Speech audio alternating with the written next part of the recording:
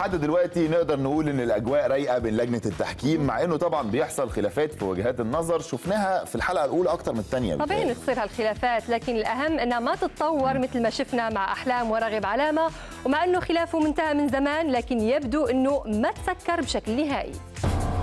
لو ترك فويس كيدز حيصير يمكن بالبرنامج مثل ما صار بأراب ايدل بس تركته بس تركته هذا كان رد راغب على سؤال إيتي بالعربي لكن كيف بترد احلام على راغب؟ هالكلام أنا راح أقوله لو أنا طلعت من أرب ايدل لأنه أنا اليوم عندي قاعدة جماهيرية كبيرة على مستوى الخليج والوطن العربي. فاليوم لو أطلع أكيد بده ينقص في أرب ايدل كنا أنا وراغب عاملين آه، سالب وموجب مين كان السالب؟ مين كان الموجب؟ هلا انت اذا شريت بطارية بيهمك السالب وين والموجب وين؟ المهم انه في بطارية.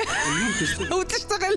أنا بعرف كثير منيح يمكن احلام انت ما جربت تغني الخدود الخدود إحنا عندنا قدود حلبية بس نحن عندنا شيء ثاني. يعني إحنا مثلا نقول يا مركب المار دخانك علينا عود. وجه له تحية. إنه أنا عارفة إنه كمان شارك في برنامج ما شفنا نتيجة يعني.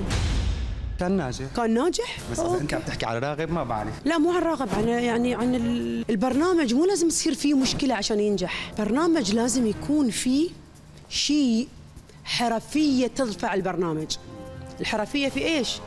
إنك تكون فطين تعلق بذكاء عندك سرعة بديهة. أحلام بلشت تسافر إلى لبنان رغم كل الإشاعات اللي انحكت عن منعها من دخوله. هذه بلد محكومة بلد فيها حكومة وفيها دولة يعني. مو رايح الغابة أنا. ترى أنا حتى في الغابة سافرت. I was safe يعني. لبنان بلد إحنا عشقنا فيها وحبينا فيها وخطبنا فيها وتزوجنا فيها. حبك يا لبنان.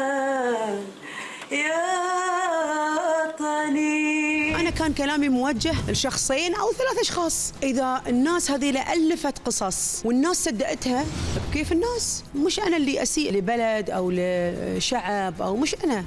ما بعرف يعني حسسني إنه في كارثة راح تصير ولا؟ بالعكس نحن نحن كان يعني أنت رح تيجي على عائلتك على إم بي سي ومثل كل موسم الناس بتستنى أحلام بتعليقاتها وبطلتها لا يستنون طلتي خليه يستنون تعليقاتي حضوري. وجودي في البرنامج. هالمرة راح أكون كمان أكثر صارمة أنا. يعني ما نظلم حد ونطلع حصيلة الحصيلة. لكن أيضا شكل أحلام وملابسها بتكون حديث الناس عادة. من هلأ مبلشه مغير اللوك. قلت لهم بدي شعر قصير فطولي طبعا لاف لي شعري طويل فملفوف هنا.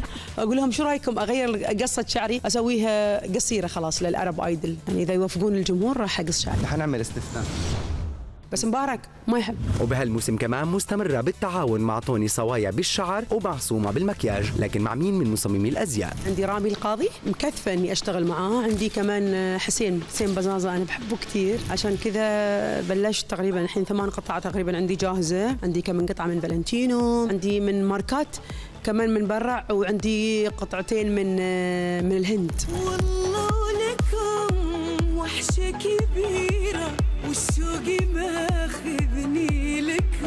ميرسي على زيارتك ميرسي على ال cake merci إي تي بالعربي. دائما تابعوا أخباري معاهم راح اعطيهم حصريات.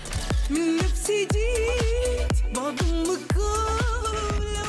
شكرا يا أحلام ومستنيين منك الحصريات.